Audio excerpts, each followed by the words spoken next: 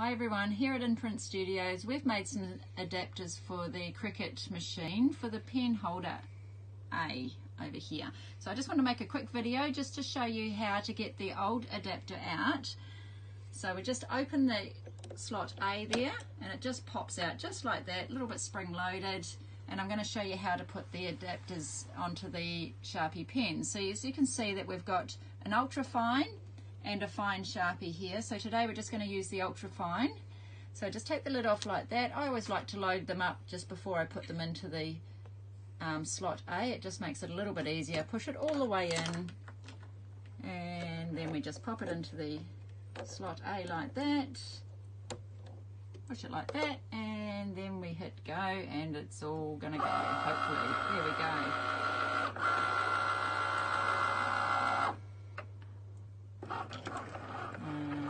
Show you how it works.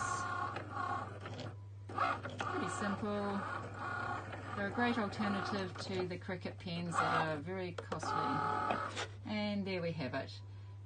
So that's how we put take out the old Cricut adapter and pop in the new one. If you've got any questions, feel free to email us at inprintstudio at hotmail.com and we'll get back to you. Okay, see ya.